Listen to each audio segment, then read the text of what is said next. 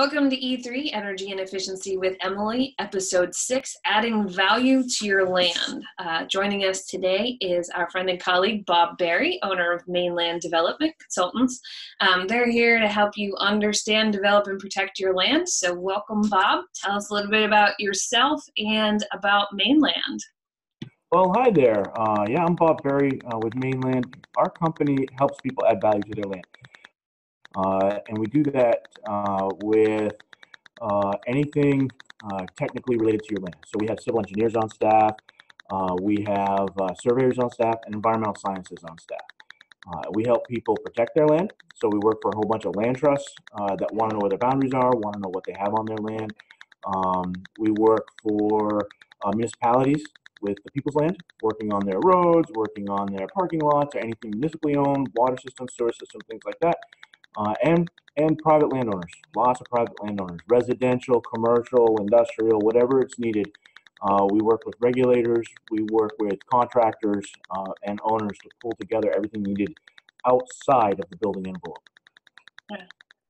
That's really cool. We, uh, we've been talking a little bit, you know, it's uh, building season here in Maine, uh, and we've uh, been doing some uh, house siting and orientation. And uh, um, not that you know it was building season. Did you guys get snow today? Uh, we didn't get any snow here on the coast, but it's pretty cold. Um, it's cold and rainy here, and it's supposed to snow. I haven't seen it yet, and I'm not. I'm not holding my breath. I think it will miss us, but I saw pictures of snow just north of here. Yeah, so I'm. I said I think we woke up in March. We went to bed last night. It was May. We woke up. It was March this morning. Um, but for this time of year, we get a lot of questions or people, you know, breaking ground. So I thought this is kind of the opportune time to have uh, someone like yourself come on and talk about, you know, land development and conservation. And um, you know, Maine has a lot of land and not so many people still for right now, which is great. Um, and you know for us with energy and efficiency how we can kind of sustainably develop uh, property and you know what goes into that. So i know you have uh, um, common you know one of the things we talked about is common setback issues you know thing, things that you typically find you know for us we do a lot of residential but for you guys you do residential and commercial. So what are some of the typical things that you find on projects or that could be sort of useful for someone to think about beforehand before they call you? Uh, there's a there's a lot of stuff uh, and and what i'd like to touch on today is some at a high level some of those things that you should think about or that could bite you later if you don't think about. Right. Um, and uh, and sometimes years later. So I'll, I'll, touch on all of those. I'm going to touch on them on a high level, uh, and then if we want to get into the weeds on any of these, um, we can at a later date. Yeah, absolutely. All right. So the first thing I'd like to talk about is simply your boundary lines. Uh, every piece of property that you own is going to have edges, uh, it, and and you don't own the world. Uh, not yet, Emily. You might get there. I'm uh, working on it. World domination. And uh, so you think you might know where those property lines are. Your neighbor thinks they know where the property lines are. But sometimes that's not the same line. Uh, and people get a little crazy about their property. Uh, they should, because here in America, we get to actually own our own land. Uh, so uh, we get crazy about it. We get crazy about where the line actually is. And uh, if your neighbor and you don't agree on where that line is, then you need something like a survey to go out and, uh, and find that. Um, you can get the information on tax maps, and I just want to caution on tax maps. Tax, map, tax maps have one purpose, really, and one purpose only, and that is to tell the town how much to tax you.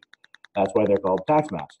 Uh, so, so it's a good general view of where your boundaries might be uh, on a tax map, uh, but they are not uh, accurate a lot of the times. Um, sometimes they're not updated. The town may not get the information to update them. The town might not be diligent about, about updating them.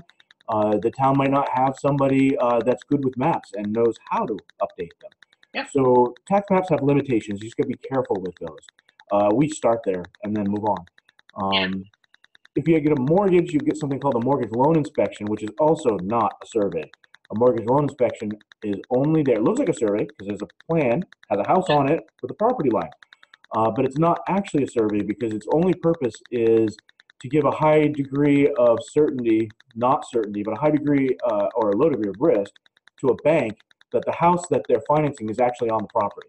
Yeah, and I appreciate you bringing that up and talking about that because we have that conversation a lot. You know, where someone uh, bought a house and they say, "Well, I have this survey," and I'm like, "Well, a mortgage survey is not the same thing as an actual survey." And in some cases, uh, I had another architect in a forum that I uh, participate in say they had a boundary survey, and they were like, "This isn't good enough." They asked the contractor to do a survey. He didn't know what to ask for and ended up with another mortgage survey uh, and not a boundary survey. And the two surveys were more than 20 feet off of each other.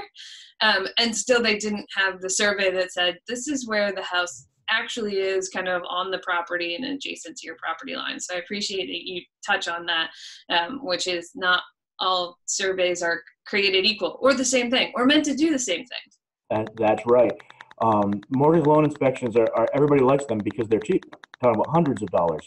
Um, but but all, all they're intended to do is reduce the bank's risk that they're not buying a house with a property line through it. Right. And if the house is within the bounds of the property, that's all they care about and done. Right. Um, so if you really want to know where the line is, then you have to hire a surveyor and get that surveyor's opinion. Occasionally, two surveyors don't agree where that line is, but generally they do, uh, and and then you can establish that that line. Right. Just and then and when we talk about setbacks, and I'll talk about setbacks next, but when it comes to property line setbacks, that's the line that governs. And 20 feet is a big deal, like you mentioned. If that property line is 20 feet different than what you thought, and then you pull a 50 foot setback and build your house there, well, you might find yourself 10 foot in 10 foot inside that setback after construction. Right. Um, and I have literally seen someone lop a corner off of a house for that very issue. Yeah, or we've had people uh, have to take it down, uh, you know, when they didn't meet uh, a requirement. And that's the last thing you want to do is take the one thing you're probably going to spend the most money on in your lifetime and then have to take it down. It's not like Mm. you can just pick it up and move it over. Like, oh, Right. piece of furniture, I didn't like it here. I'm going to put it over there now. So, Pretty hard to pick up and move. yeah not impossible, but very expensive. Yes. So that bounds your property, an important part of any part of land ownership. Um, when you're talking about setbacks, a setback to all sorts of things. Uh, to define a setback, uh, a setback is some sort of buffering area. Doesn't have to be natural buffer, though it might be. Uh, it could be lawn, it could be driveway. It just a setback is from whatever boundary we're talking about, whether it's a boundary line, property boundary line, or a wetland boundary line, or something like that. And then how far back before you can do whatever it is that you want to do. Um, so some common ones is towns will often have property line setbacks or road frontage setbacks. Um, some towns don't, some towns do. Uh, I work for hundreds of towns and they're all different. So you've got to go to your code enforcement officer, find out what those those setbacks are, uh, and plot them on the plan. Uh, and oftentimes the side yard setbacks will be different from the front setback, which will be different from the back line setback. So you got to plot all of those. And those are usually building setbacks, not development setbacks. So you might still be able to put your driveway through it, lawn, septic system, uh, et cetera, but your, your house, the, the structure itself will have to be that far from the property line. Yeah, you're talking about building setbacks and stuff, and so I know you guys also do subdivisions, and so subdivision setbacks I know are different. Um, we have a subdivision in, in Cumberland that uh, a builder is working on that um, we have a 75 foot buffer from the one side, uh, you know, and you can't put anything in the buffer, you know, no buildings, no driveway, no clearing, you know, no nothing, and so um, things like that kind of come into play too when you're you know expanding beyond just one lot now. Now you have multiple lots and um, i'm sure every town is different and what their requirements are. It was kind of interesting. We built on one side of the road we have a five lot subdivision. If we had the same piece of property on the opposite side of the road we could have had 14 lots it's always amazing i mean it's the same road but different you know different rules and requirements kind of inside and outside of of the zone and you know like you said you got to talk to the town and find out what that is so Yep. Some towns have zoning, some towns do not. Uh, and, uh, and then sometimes some of those lot sizes are governed by the state, not by the town. Uh, and then some of the setbacks I'm about to talk to are state or even federal, uh, setbacks that you have to obey. Um, there are Natural Resource Protection Act setbacks. So, uh, every, anything defined as a stream needs a seventy-five foot setback. Uh, if you happen to be in a, in a larger subdivision, it might be a 100 foot setback. And those are typically no touch buffers. Right. Um, you can have a winding path. You can do maintenance clearing. So if a tree's about to fall and it might hurt somebody, then you can cut those trees. But otherwise, you have to leave it native condition. Um, and, uh, and a stream is defined by DEP, uh, and their their a stream is is not what you picture as a stream. Uh, uh, well, let me back up. A stream that looks like what you picture as a stream, stream is certainly a stream. Um, but then there's other things that are regulatory streams that don't look like streams. Right. Um, sometimes a dry gully will actually be a stream. Uh, or uh, I have seen um, regulators define ditches and skidder ruts as streams in certain circumstances. Um, and so there's no water flow requirement there. So it can be just a little trickle, and it might be a stream that needs a 75 foot setback. So it's tough. Do you find that there's a certain time of year where, you know, they're more, so, you know, you say a dry gully, like, you know, say it's August and it hasn't rained in, you know, weeks, something might be dry, but in the spring it could be, you know, running. Is there a time of year, you know, if, especially if you have a piece of property that you're not sure about that is, is you know when the DEP wants to come and look at it. I mean, we ran into um, a, an interesting issue with a piece of property that um, when they redid the road work, the culvert was too high, and so then the water didn't run off of the piece of property, and they actually created a wetland that didn't exist prior to you know but and then the they wanted to come out um, when frogs were laying eggs or something this is sort of beyond my my skill uh, skill level and understanding i know you guys do a lot of environmental stuff to to test uh, all of that but you know is there a time of year that's really specific to the dep when they want to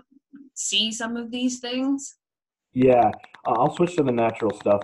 Um, so, so there's in Maine we have there's, there's all sorts of environmental uh, uh, natural resources that are protected. Uh, that the the state of Maine has determined have natural significance that doesn't belong to the landowner; it belongs to the state of Maine. Yeah. Uh, and in those areas, uh, your rights to your property are limited. Mhm. Um, right or wrong, that's the way that's the way the, the laws are written. Uh, and the, the big three that we deal with most are wetlands, streams, and vernal pools. Uh, there are others. There's sand dunes. There's uh, alpine areas at the tops of mountains. Uh, there are certain wildlife critters, uh, plovers, and, and other other animals that create areas that are also protected. Um, but I'll touch on the big three: the wetlands, streams, and vernal pools. Um, a wetland is tough because uh, it takes a wetland scientist to really know if it's a wetland. Right. If you look at a swamp and I look at a swamp, we can both agree that the swamp is a wetland. But what class of wetland is it? Does it have setbacks? How important is that wetland? Uh, if I touch that wetland, do I need one permit or the other? You see, that's where the, the question mark comes in. And there are a lot of areas that a layman would look at it and say, well, that's not a, a wetland. That's just a little patch of ferns or something. And we can go in and we have the, the scientific understanding. And so does DEP. If you have a question, you can call DEP. They'll come out and look at it too. Uh, and, and you can determine whether or not it's actually a wetland. There's soils, there's plants, and there's other criteria to whether or not something is a wetland. And it's high value and low value wetland. They have different functions and values, and they're regulated by both Maine DEP and the Army Corps of Engineers. And their permits do not mesh. So there's things you can get away with with the DEP that you can't with the Army Corps, and there's stuff that the Army Corps doesn't care about, but the DEP does. So And is that- there is there a length of time that it takes? Like if you, you're fairly certain that your property has some kind of wetland, and so you know you need to have someone, you know, yourself or the DEP or both come out and take a look at it, and then the Army Corps, um, you know, is, is there a length of time that it takes for them to kind of get through there in your experience? Like are you, are you talking months? Are you talking you know it, it depends on the tier structure of the you know wetland permit that you you know need to have. So like does somebody need to prepare a year in advance? So if i want to build this summer it's probably off the table but Uh, it depends on what you want to do, and it depends on what you're doing, uh, and it depends on who you talk to. It's more fluid than that. But right now, you're doing pretty good if you can get someone from the DEP and the Army Corps to schedule a meeting within a, within a month or two. Okay. Uh, they're busy folks and the economy is booming, so Yep. um, it, it's hard to get them out there. Um, private companies such as ourselves and others, um, they have people that you can schedule and go out and look at those. Uh, and so, yeah, you want if you're trying to do a land project, a- house six months probably enough time. If you're trying to do some sort of commercial development, you want a year uh, ahead of time if you can, um, because it takes it takes some time. Um, wetlands can be uh, checked anytime that we can see the ground, so they're pretty hard under six feet of snow. Uh, but uh, if we can see the ground, we can usually delineate wetlands uh, and do functions and values. Uh, and the rules are set up so that we should be the same line in May as it is in August. Okay. The reality is, uh, you know, August the line's going to be in one spot, and, and in, in May it's going to be somewhere else. But uh, you can really, you, you can get pretty close regardless of that season. Sure. Uh, streams, streams have uh, five criteria, um, but pretty much anything that has a mineral bottom, so like the topsoil was eroded off by the stream, Yep. uh, you can pretty much bet that that's probably a regulatory stream and there's no width requirement. So if that thing's only 12 inches wide, could be a stream.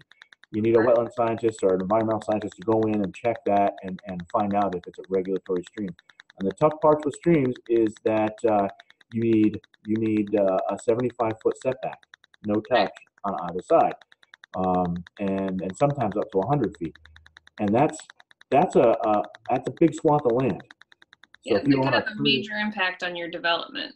yeah, uh, we have seen pieces of property that were otherwise going to make a great 14 lot subdivision um, completely taken off the market because there was a stream. A stream. These are streams that you step over without without really even noticing it. Um, but there's a stream, a regulatory stream, every 100 to 150 feet. When you do a 75 foot setback on those, all of the property is protected. Yeah. There was so little left over that they eventually just sold it as a woodlot. Um, now I'm not gonna, I, you know, I have opinions on whether that's right or wrong, uh, because the devil in the regulatory world, the devil's always in the details. Right. So I want to protect streams. You want to protect streams. It's what is a stream that that's the hard part. The timing component of what you were you were referring to is about vernal pools. Yeah. A vernal pool is a naturally occurring uh, pool that that ponds up in the springtime only. So if it's ponded up all year long, it's not a vernal pool. Yep. If it has a stream coming in or out, it's not a vernal pool. Unlike a wetland or a stream, if it's man-made, it's not a vernal pool. So the rules there, whether it's man-made or not, change depending on what kind of resource it is. Yeah. Um, depending on a lot of it was depending on who was in charge when the rules were written. Uh, it's a political function. And Uh, it does make a difference too, right? Um, if the subdivision, so say you have a piece of property that's in a subdivision, and maybe the subdivision is from the 80s and this piece of property just never got developed. Um, depending on the town or where you're at, you maybe can go back to whatever the rules were when the development was done, or you still have to follow, you know, whatever today's rules are. And too bad if they're more strict now than they were in 1980. If you go in and ask permission for a project, they'll make you use the most current rules. Okay. You have a modification you want to make to an existing subdivision, say, and you go in and you want to make that modification, at least in the modification area, they will make you use the new rules. Okay. And they have the right to make you update the entire project to the new rules. But if you have a project that was approved back in 1980s and you're buying a lot, uh, you should be good with that approval. That was grandfathered in. Yeah. That's normally the way it is. Every town, every municipality, they're going to have a different a different criteria. So you do want to talk to your code enforcement officers. Sure. Uh, the trick with vernal pools is they can only be identified at a certain time of year, and that time of year is right now. Uh, it is from sometime in April to sometime in May, depending on the year, depending on the weather. Uh, and what we're looking for there is whether or not there's water. We're looking for certain animal species. There's a salamander, there's a frog, and there's a shrimp that floats around in the water too. That a shrimp floats Seriously, yeah, yeah, they're called a fairy shrimp. Um, and, uh, they have to go in and they have to net them up and look to see if these critters live in there. And then if the critter lives in there, then we've got something that's an actual vernal pool. Tough part with vernal pools is they have big time setbacks. Army Corps requires a 250 foot setback on those. Right. So that's a that's a significant uh, significant impact to your land. Shoreland, you have other rules. You got you got uh, dune stuff. There's stuff on the coast they have to deal with, but those are the the, the main resources. Yeah. We do a little bit of shoreland zoning, um, and the biggest thing, you know, for us in the shoreland is what's within hundred feet of, uh, you know, the ocean or the really lovely lake because Maine is full of water and people like to live on the water. And um, there's always a kind of common misconception, and I'm sure that you find this more than, than we do, is that you can do whatever you want on your property. Uh, not so much true. Uh, I, I am, I, there's a balance. This is my little talk on this. I just gave it yesterday to an intern. There's, there's a, a balance between uh, having a clean environment that we enjoy Yep. and owning property and having rights to that. Uh, you own the land, but if a deer comes onto your property from offsite, wanders around on your property and leaves your site, does that deer belong to you while it's on your land? And I don't think anyone would say it does unless it's November. Uh, that deer belongs to the state of Maine. right. Um, if a stream comes down onto your property, when the stream enters your land, that water that's in that stream, is that yours while it's there? Or, or does that belong to someone else? Do you have the right to dump a barrel of hazardous chemicals uh, onto your land? It's your land. Do you have the right to dump those? I think most reasonable people would say no, because that, that pollutant is gonna enter the groundwater and then flow over to your neighbor's well. right. It's going to go somewhere. Exactly. So, so yeah, there's this balance uh, on the environmental protection compared to landowner rights. Uh, I am personally of the opinion that that balance has shifted too far. The pendulum swung too far, and I try to defend the landowner's rights to what they can and can't do with their land. I feel like like they're being pushed too far. Right. Um, I'm in the minority. Uh, I'm, I don't mind that. Uh, so be it. Um, and so what happens with the shoreline zoning is there are rules set up that are designed to, uh, at least ostensibly designed to protect the environment. And that's what the shoreline zones are there for. And, and yeah, there's, there's no quicker way to gain attention than to start up a chainsaw on a lakefront uh, on a Sunday afternoon. Yep. You will suddenly have 20 boats with video cameras uh, floating just offshore to see what you're doing. Uh, so you got to be really careful on the on the shoreline stuff, um, and uh, and there are restrictions, um, such as of course you got that 100 feet from the front from the from the from the shoreline, and then most shoreline zones extend 250 feet from the waterfront, uh, from that high water mark, uh, and there's limited what you can do between the 100 foot and the 250 foot mark. Yeah. Uh, and there's special rules for septic systems within within shoreline zones, uh, and there's special buffers. And then if you have something that's within that 100 feet, expanding it has special rules. Yeah. Um, so so that's a that's an interesting uh, interesting thing with the shoreline zone rules. They're actually all proposed by and and required by the state, but the state has a law that says you can't have statewide zoning. So the state said, well, we can't have shoreline zoning, but we're going to make it a law requiring all the towns to have shoreline zoning, and that's how we have shoreline zones. Uh, and the effect of that is that the shoreline zoning language looks very similar from town to town, but Yeah. they may not all be exactly the same. Do they have to adopt a shoreland zoning that was uh, sort of provided by the DEP, or does the DEP have their own zoning and then the town has zoning, and whichever one is more stringent is whatever you have to follow? The DEP does not have zoning per se. They have the Natural Resource Protection Act. So they have certain setback requirements from any waterfront. Right. And it's the same as for streams. 75 feet, any work within 25 feet requires a full NRPA permit. Uh, and if you're working in the water, requires an NRPA permit. So say you're putting in a permanent pier uh, or a boat ramp or something like that on your property, that requires an NRPA uh, permit through the Maine, Maine DEP. But as for that, what happens on the land outside of that 75 foot mark, that's really part of the shoreline zoning rules. DEP provides that language, then the towns have to adopt them. Okay. And some towns adopt them and make them more strict restrictive. Yep. Some towns adopt them as proposed by the DEP, and some towns uh, say, no, we're going to try to make it easier, and they do. Uh, some of them are still working with shoreline zone uh, uh, ordinances that were in place in the 1980s. They just never updated them. Uh, and there's actually a couple of towns that just said DEP, no, sorry, heck with you, sue us if you really want us to. And yeah, and sometimes that happens too. Uh, so, so yeah, they're just because it's shoreline zoning, you think it's the same throughout the state. It's not. There's fine uh, details that are different from town to town. So you have to look at the town ordinances on those. Yeah.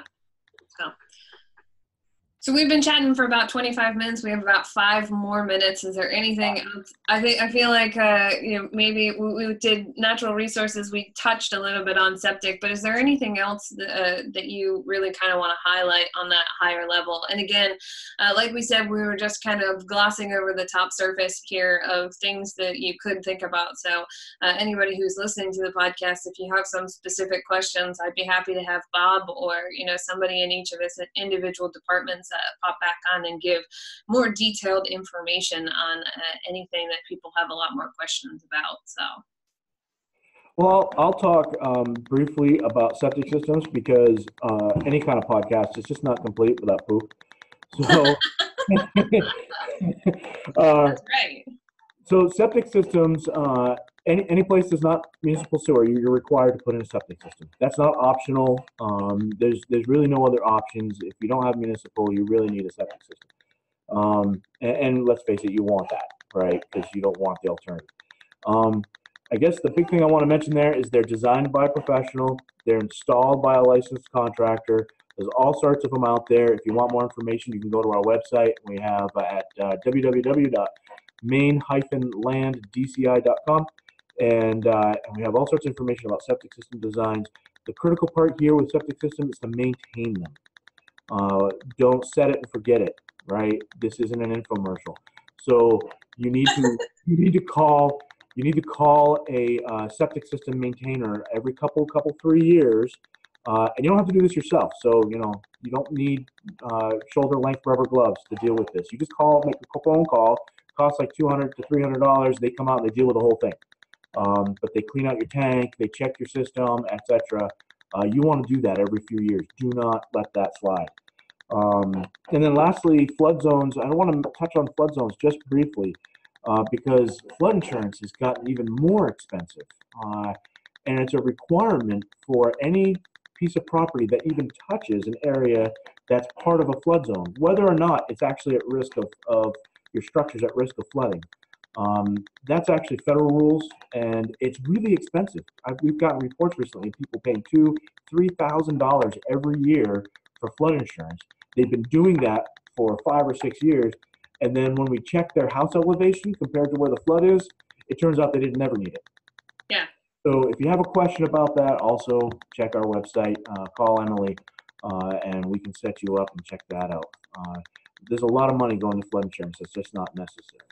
Yeah, we've definitely done that. I know um, it was a couple years ago um, when we were sitting on the uh, when I was sitting on the City of Auburn's uh, planning board, and FEMA changed all of the flood maps, and um, it was going to change so that all of Taylor Pond was going to be in the flood zone, and so um, which was kind of crazy because half of it is like up on a hill, and you know it's down, it's down lower. And uh, the town actually, I think, argued with FEMA on where that flood zone was, but it was going to require everybody to to have flood flood insurance and that was one of those times where we called uh, and said hey can you come do a bunch of elevation surveys? Like i want to know where you know where this this property is where's the first floor level? And okay we understand that you know we no longer can have a heating system in our basement that might be below you know below the flood flood zone, but that our first floor plane is you know well above it, and and um, so that was kind of a really interesting thing for us, you know, to go through was you know all of a sudden we had a bunch of homeowners that had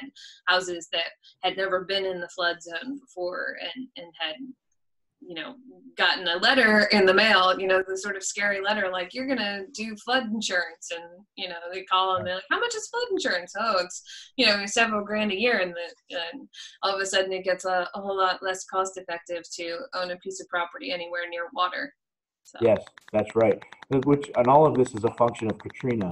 Uh, the government and uh, homeowners and financial institutions lost so much money from a katrina.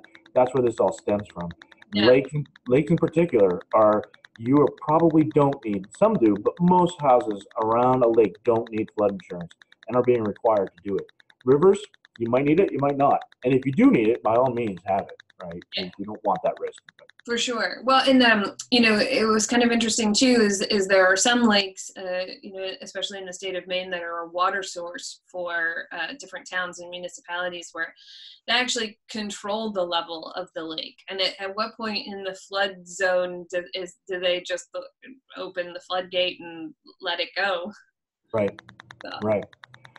So anyway, that's something that homeowners are being hit with uh, in the last five years. That and flood insurance. Yep.